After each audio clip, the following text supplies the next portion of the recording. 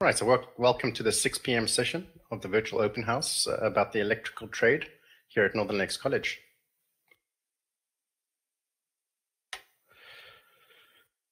What kind of work do electricians do? well, many of us might associate the electrical trade with uh, the electrical in our homes, but the electrical trade is a lot more vast than that. Yes, it is true, we do uh, a lot of electrical work in residential but we also perform a lot of electrical work in commercial sector, institutional sector, and the industrial sector. Now, the, uh, the industrial sector can also be broken up uh, not only to you know the oil field here in Alberta, uh, the, the lumber industry, uh, but there's actually some emerging technologies where the electric electricians are the at the forefront of the trade.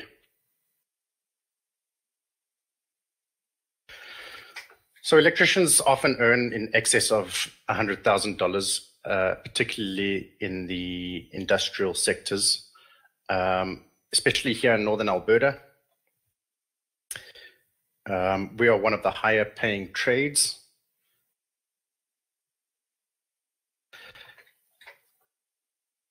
But in order to get that salary, you would probably have to work your way through the apprenticeship program. And then the apprenticeship program typically takes around four years uh, of on the job training as well as four periods of technical training, which we offer here at Northern Lakes College.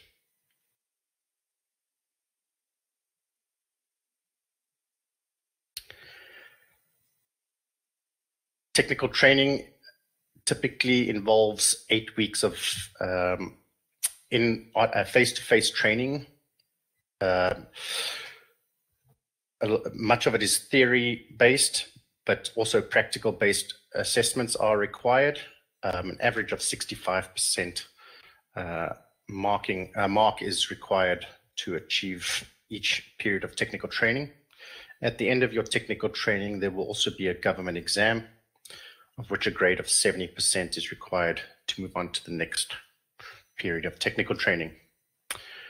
We also offer pre-employment electrical training here at Northern Lakes College. It's a total of a, uh, it's a 16-week program. Uh, during that program, you will uh, gain uh, some safety tickets. Uh, the training involves, uh, it comprises of first aid training, WHMIS training, transportation of dangerous goods, as well as fall arrest training. Uh, there's four weeks of practical project training and then two weeks of work placement after your eight weeks of technical training.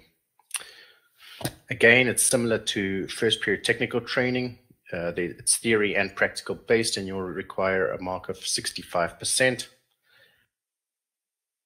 And first year apprenticeship training credit will only be achieved by passing the government again, uh, exam again, uh, requiring a grade of 70%.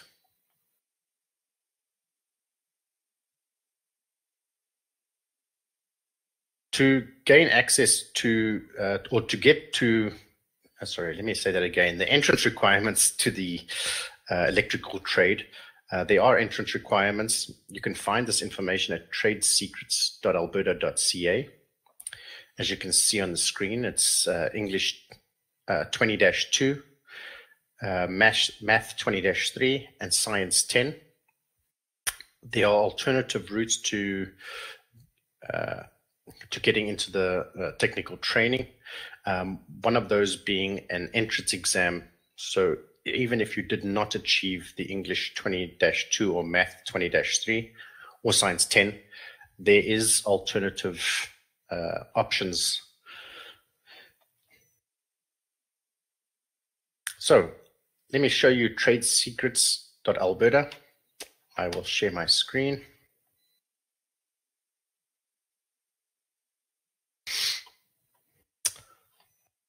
So hopefully you can all see that. I'll try and uh, zoom in for you. There you go, that's a little better. That one kind of So if you go into trade secrets, uh, you can go ahead and look at trades in Alberta. And if you scroll down, you'll see trades profiles and find a trade. You click on that and you scroll down to electrician.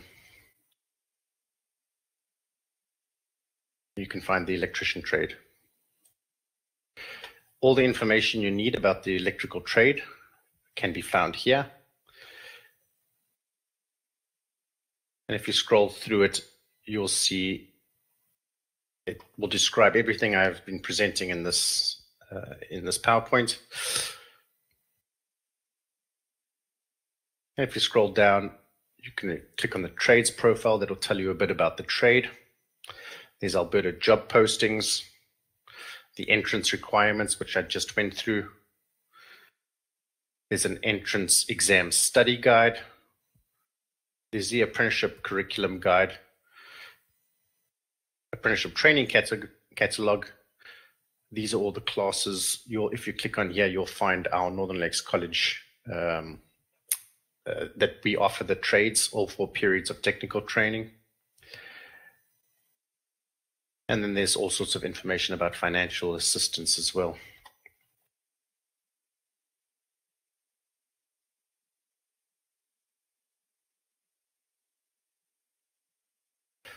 Right. So job information, yes, was on Alberta on that uh, Trade Secrets website, but there's alternative um, places you can get job information. I'm just going to post this one here. This is Job Bank Canada. This is a government page uh, that will have uh, job postings for the entire country, not just Alberta.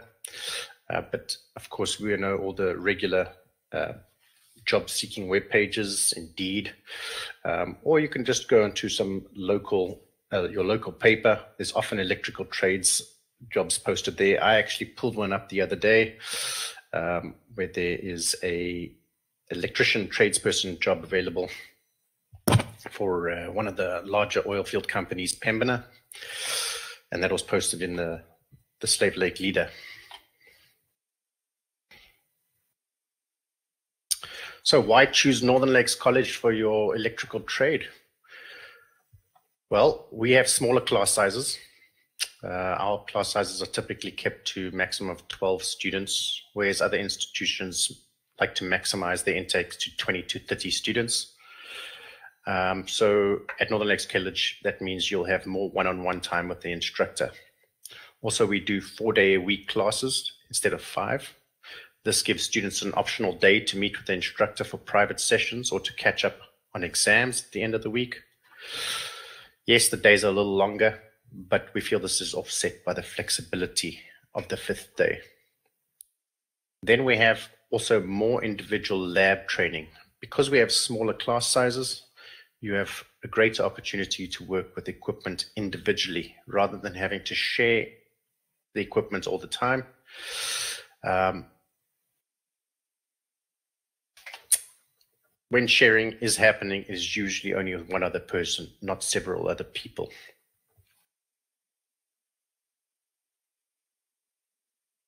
So here's a couple of pictures of some of our students, some of the projects they were doing. So is there any questions? I can see that uh, somebody from Cadotte Lake has joined. Uh, sorry you missed the beginning of the session.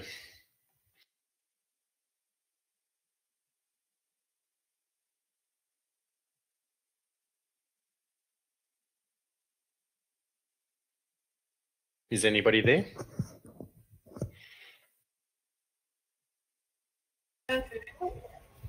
Hello. Hi there. There you go. No, we're just listening. okay. you missed a lot of the information. Sorry, I started uh, a little earlier. No, that's fine. Did you have any questions that you wanted to ask about the electrical trade? No. You're good? Well, electrical trade, you said? Yes. How long? How long um, is the um, program itself? The electrical trade. I only ask because my son is um, working on getting there someday. Yeah, absolutely. So uh, I started off here when I was talking about technical training. Um, so the, the trade could work, uh, typically it's a four year training, uh, but the training starts with on the job training. So typically somebody would get a an apprenticeship at a an electrical company. And uh, what that company will typically say, we're going to indenture you, I mean, we're going to take you on as an apprentice and then they will start to work and then come to technical training. And there's four periods of technical training. So minimum four years before you become a qualified electrician. Okay. Now, we do offer a pre-employment training at Northern Lakes College. Uh, it's a 16-week program. And what happens is when you sign up for this program, you'll be registered as an apprentice. You just won't have had the work experience beforehand. But as you can see in the 16 week technical training, we actually offer four weeks of projects that we do, electrical projects. So we train the uh, a pre-employment student, uh, we give them some electrical experience here at the college. Um, and then they also, at the end of the training, they go for a two-week placement at a workplace. They'll they'll find a workplace uh, and go work for the company. Typically, it's free of charge. Um, we pay for um, like uh, uh, workmen's compensation so that if, if there's any accidents, the, the college covers it. Uh, but typically, they'll go work at a company for two weeks just to get some experience. And after that program, they will challenge the government exam and then they'll get credit for their first period of technical training. Now, this is this could work out nicely if you know they go for that two week work placement and when they're working there, that company actually uh, decides to keep that apprentice on, which has happened uh, several times. Mm-hmm. Uh, they'll go with the work placement, and the company will decide to keep that uh, student on after they finish their training. I hope that helps answer your question. Yeah, yeah. Thank you. Okay.